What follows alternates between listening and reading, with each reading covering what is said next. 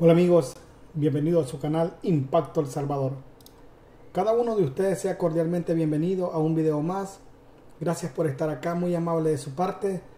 De antemano te vamos a pedir que nos regales un like para este video, de esa forma nos ayudará muchísimo a este canal.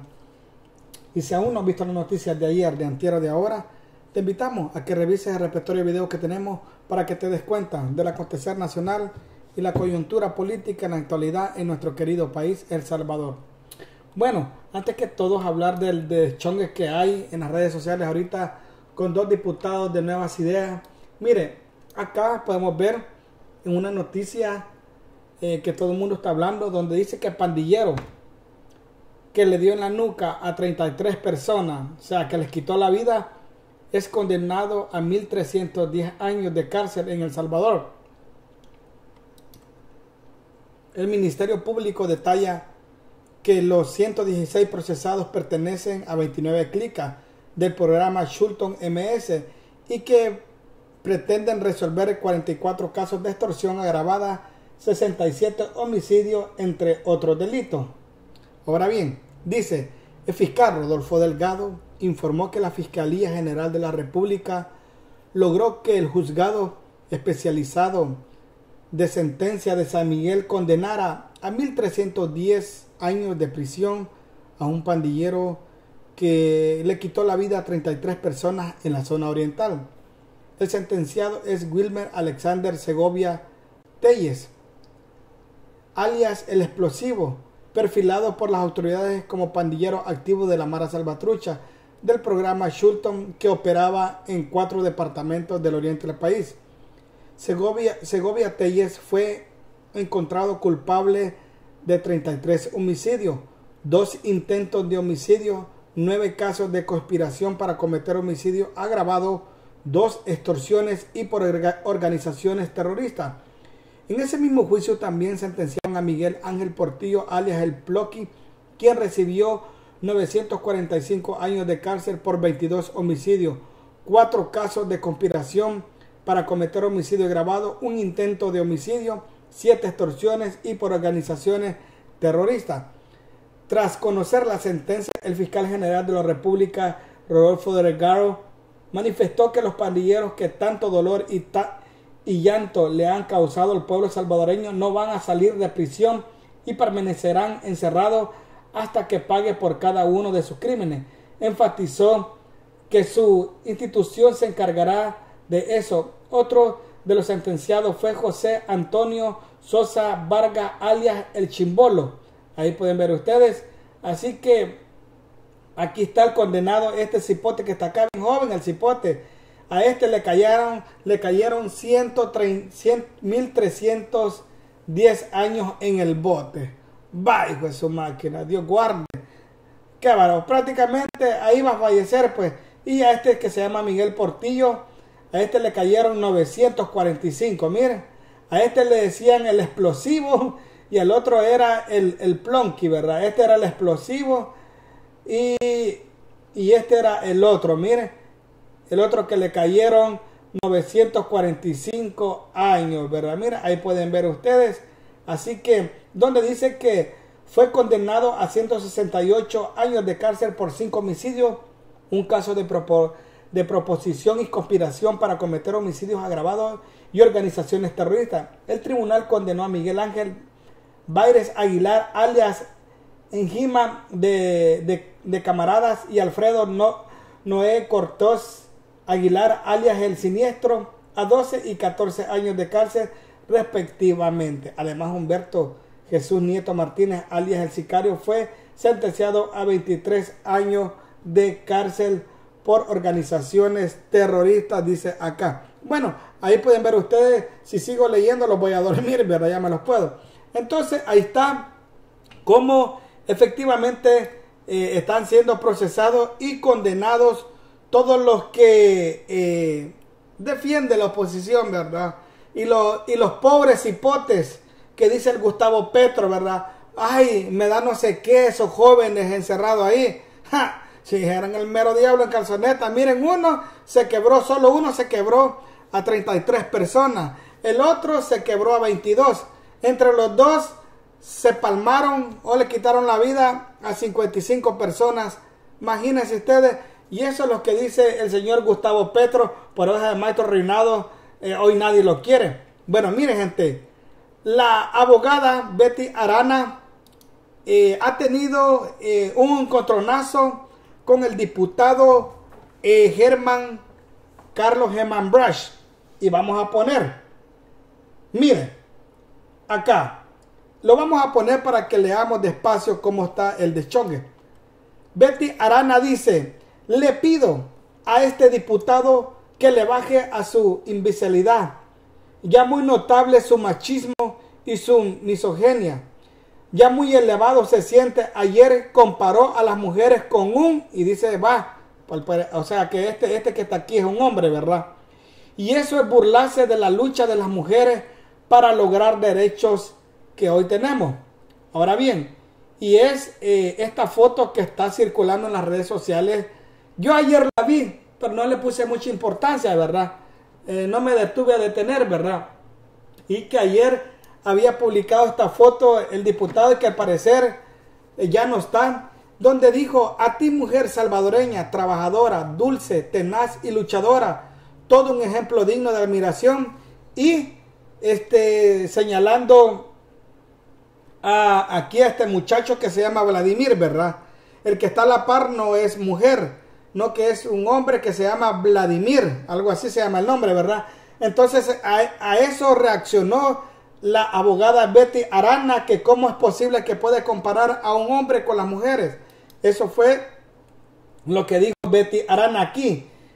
Dice, eh, dice, ya me van a andar en la silla voladora otra vez. Me va, bueno, me vale un pepina y aplaudo lo, aplaudo lo bueno y señalo lo malo. Vamos a ver qué más hay acá. Eh, también Betty Arana colocó esto y dice, tengamos cuidado que veo algunos diputados allegados a la ideología de género. Eso no. Si ellos son, y dice la palabra, ¿verdad? O, si les gustan los hombres o las mujeres. O sea, si ellos son, o sea, a los que les gustan hombres con hombres y a las mujeres con mujeres, es problema de ellos. Pero aquí el matrimonio es entre hombre y mujer y punto, dice la, eh, abogada Betty Arana, ¿verdad? Ahora bien, dice aquí, eh, déjeme ver más, más. Dice, ya que la, ya no es de nuestro, bueno, que dice aquí, licenciada, le aconsejo a las autoridades gana oficial a que busquen los mejores perfiles para las elecciones. Bueno, vamos a ver que, déjeme ver más que puedo ver. Creen porque son diputados pueden hacer estupideces, sigan haciéndolas si quieren, pero en el 2024 eh, les van a pasar factura por sus idioteces, dijo aquí la abogada Betty Arana en una clara eh, directa a el diputado Germán Bryce. También dice, habiendo más de, habiendo más de dos millones de mujeres salvadoreños y tuvo que venir a felicitar a un hombre, dijo, en el Día Internacional de las Mujeres, nombre Chele, le dice. O sea, él está encachimbada la, abogada veterana porque el diputado Kerman Hammond Brush en el Día Internacional de las Mujeres felicitó a un hombre, ¿verdad? Dice, usted un, día se pierde del tweet y todo cambia, loco, dice. Vamos a ver, ¿qué más? Déjeme ver acá, estoy viendo más cosas del agarrón. Dice, se van a andar en... Déjeme ver, voy a buscar qué más reacción tuvo la abogada Betty Araña. Bueno, en esto le replicaron esto, miren. Acá la que se llama Chinita Loan. Indignante. Hoy el diputado de la bancada felicitó a un hombre, pero por ser el Día Internacional de la Mujer. Y es Vladimir Rosales, con el apoyo de la diputada Suece Calleja, pudo cambiar su... Uy, gran poder de Dios. Aquí ya metieron a la, a la diputada Suece Calleja. Ay, ya vamos a perder dos diputados. Pues qué barbaridad. Miren, aquí pueden ver. Eh, aquí dice, o sea, el dueño de, de esta cuenta, o sea, al que felicitó el señor Carlos Herman Brock, dice, públicamente agradezco la gestión de la diputada Ceci Calleja y a la ministra de, Ministerio de Cultura, eh, Marian Pleites, por apelar por mi carnet de, de identificación acorde a mi identidad de género como primer paso a los temas de inclusión social. Bueno, al parecer en este, en este, en este uh, carnet tenía el nombre de Vladimir. Omar, ¿verdad? Rosales Navarrete, algo así.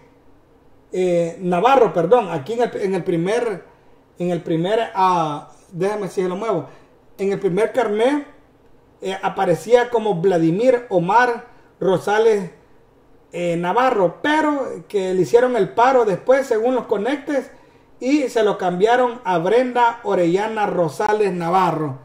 Y eso ha traído, uh, papayito y mamayita, ha traído una sola discusión en las redes sociales. Bueno, y porque ahí este, esta mucha, este señor eh, incluye a la diputada este, Sueci Calleja, porque ella es la que la felicita. Y todo esto, las redes sociales se han activado. Aquí también la señor, este señor eh, ha puesto licenciada en artes de Ministerio de Cultura Activista. La peor lucha es la que no se hace. Jesús, yo en ti confío, dice.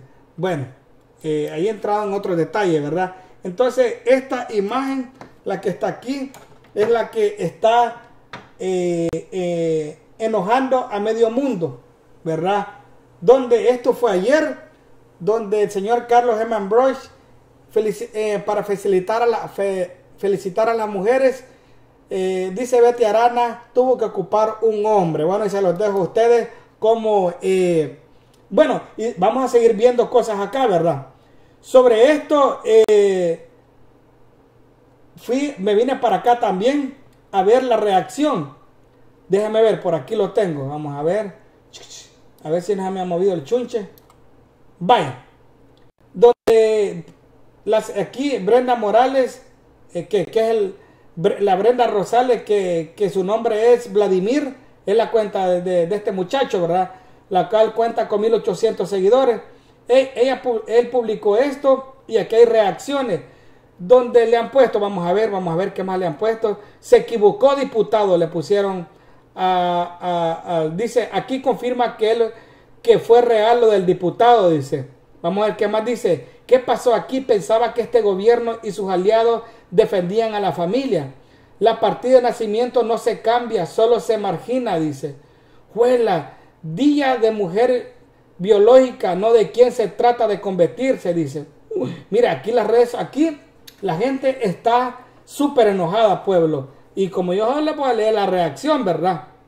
Vamos a ver. Eh, dice aquí, todo ser humano necesita respeto. Si no van a decir nada bueno, mejor no cometen. Bueno, eh, creo que es uh, el diputado pobre ya borró el tweet, dice. ¿verdad? Que lo borró el diputado Carmen Heman Brush. Y vamos a continuar acá. Eh, el apoyo, vamos a ver. Ah, bueno, qué mala. Bueno, vamos a seguir aquí, por aquí, déjame ver. Aquí, mire, aquí a mí, en lo personal, a mí me sorprendió este tweet. Eh, eh, eh, esto lo publicó este muchacho Vladimir el 22 de junio del 2022, donde está agradeciendo públicamente a la a, a la diputada Sueci Calleja pero me llamó la atención y sí me quedé al mirado de una respuesta del diputado Carlos Herman Brush. Bueno, aquí puede ver eh, donde el, señor, el muchacho Vladimir, que se llama Brenda, que se ha puesto un subnombre que es Brenda, Vladimir ha puesto aquí en su cuenta de Twitter, esto fue el año pasado, orgullosa del trabajo que se está haciendo en el Ministerio de Cultura y la Asamblea Legislativa en temas de derechos, respetos identidades. Y ahí puede ver el, a Vladimir aquí y ha puesto a la Ceci Calleja. Ahora bien, sobre, esta, sobre esto que publicó él agradeciendo que le cambiaron el nombre en el carnet, eh, aquí puedo ver un tweet de Carlos Eman Broch que eh, me llamó la atención y, y la verdad sinceramente me extrañó su, su respuesta. Dice, porque aquí puso Leti Salvadoreña. Bueno, dijo, ya sabemos a qué diputada no le, no le volveremos a dar el voto. O sea, están hablando de Sueci Calleja y también, y dice Carlos Herman Brush, le responde a la, a la Leti, a la le dice, añádame a su lista, yo no quiero el voto de gente intolerante, más bien quiero un país que deje atrás posvicios de irrespeto entre sus habitantes. A lo que le responde Víctor Joel, no seas maje. ¿Cómo se va a permitir que una persona con miembro viril se identifique como mujer? No, no estás apegado a las leyes de Dios definitivamente se te va, te vamos a ver rogando voto. Este tema, y dice la gran palabra, ¿verdad? A lo que Carlos Germán Broy le responde a Víctor, en nada afecta el resto de la gente. No ruego a nadie, tu voto de hecho no lo quiero, así que seré yo quien te lo, te lo recordaré si es que decido reelegirme, dice Carlos Germán Brush. Entonces Carlos Germán Broy, gran poder de Dios, pueblo salvadoreño, mire, este volado estaba bueno aquí, ¿verdad? Bueno, voy a hacer, voy a ver otra parte donde dice Carlos Germán Branch, tengo mi forma de pensar y no es negociable ni por votos, pero, pero cada quien piense como quiera. Están los derechos de la libertad. Con gusto leo tus argumentos acerca del cambio de nombre en un carnet. Ah, y la ley en la cual tengo opinión y voto en la de los salvadoreños, respondió Carlos Germán Broch a la a lo que le puso aquí, porque han metido, aquí están eh, metidos en temas ya bíblicos, ¿verdad? Así que, y dice aquí la, insinúa que no optará por la reelección el diputado porque ya empezó a sentir el desprecio. Y podemos ver ahí donde se armó el deschongue, ¿verdad? Pero también acá veo que alguien señaló aquí donde le pusieron eh, una respuesta a lo que cambiaron el nombre del carnet de, Vladimir, donde supuestamente en el artículo 1 dice declárese en el artículo 11 eh, de, nombre de la ley personal natural que existe inconstitucionalidad alegada pues la prohibición de asignar un nombre equívoco respecto al sexo de no, no interfiere en una de las posiciones jurídicas adscrita a la igualdad, sino que en una opción parental. Bueno, ahí veo que le han puesto algunos artículos, ¿verdad? Como quien dice, eh, bueno, yo no sé, por los albareños, ahí les traigo nomás eh, ahorita el agarrón que hay en las redes sociales con Betty Arana y el diputado Carlos Herman Branch y cómo ha reaccionado eh, el pueblo salvadoreño a este tema que está bien caliente, pueblo salvadoreño. No le voy a dar paga esto está bien caliente, así que van a disculpar que leí demasiado, pero es que esto, es lo que se está dando ahorita en redes sociales. Déjeme su comentario. ¿Usted qué piensa de la reacción del pueblo salvadoreño y de la diputada Betty Arana correspondiente a este tema? Donde dejó claro que, eh, bueno, pues ahí vieron ustedes. Bueno, ahí se lo voy a dejar y me dejan su comentario. Entre otras cosas, recuerden ustedes que eh, el volcán Chaparrastique está en actividad ahorita de desgasificación. Entonces, eh, y que no hay clases de las escuelas que están alrededor del volcán. Entonces acá Protección Civil dio un detalle de, lo, de las alertas y lo que está pasando. Veamos. Que lo que estamos teniendo es una desgasificación que empezó básicamente el día martes a las 7, alrededor de las 11 de la mañana, 10.52 para ser exacto. ¿Han tomado? Con mucho gusto. Bueno, en principio comentarle que lo que estamos teniendo es una desgasificación que empezó básicamente el día martes a las 7, alrededor de las 11 de la mañana, 10.52 para ser exacto. A partir de eso hemos tenido otras manifestaciones justamente el día de ayer tuvimos una, eso de las 7, 7.40, 7.50 de la noche. Entonces, indudablemente que el riesgo es latente, ¿verdad? El riesgo es latente. Hay que denotar que el volcán está activo. Tenemos básicamente el, hoy por hoy el volcán de San Miguel es el volcán más activo del país. Hay otros, por supuesto, pero hoy por hoy ese es el más activo. Los escenarios de riesgo que estamos contemplando y que siempre en algún momento hemos informado a la población incluyen cuatro municipios, San Rafael Oriente, San Jorge, Chinameca y el mismo San Miguel. Entonces, es importante que la población sepa que como Dirección de Protección Civil, como Sistema Nacional de Protección Civil, tenemos dispuestos todos los recursos necesarios para poder evacuar tempranamente, habilitar los albergues si en algún momento se necesita. Hoy por hoy estamos haciendo recorridos con los equipos tácticos, cuerpo de bomberos, a fin de proveerle a la población pues la calma necesaria, que sepan que el gobierno del presidente Nayib Bukele, con todas las instituciones del Sistema Nacional de Protección Civil, está allí para apoyarles, para responderles en caso de que tengamos una erupción de mayor envergadura. Director, ya se suspendieron las clases, se dio ayer que el Ministerio de Educación ya las había suspendido para algunos municipios. Efectivamente, el día de ayer nosotros reiteramos el aviso que ya habíamos hecho hace algunas semanas en las que les pedíamos que por favor no estén haciendo senderismo, no estén haciendo acciones de actividades turísticas. El día de ayer elevamos un poco más, digamos, ese aviso, les pedimos que por favor, por hoy, hoy por hoy, se abstengan se abstengan de actividades comerciales, de pastoreo. Hay que recordar la infortunada situación que tuvimos en la pasada, eh, eh, en, la, en, la, pasada, digamos, actividad volcánica en la que lamentablemente falleció un semoviente. Entonces, eh, les pedimos a la población que acaten las recomendaciones, ¿verdad? Escuchamos a Javier Ponce. Sí, ministro, buenos días. También Hola, Javier. hola, buenos días, un gusto. También quisiéramos conocer, usted decía que las, las tareas agrícolas están suspendidas en esa zona del volcán Chaparro. Efectivamente. Y también no sé si continúa la sismicidad en la zona de...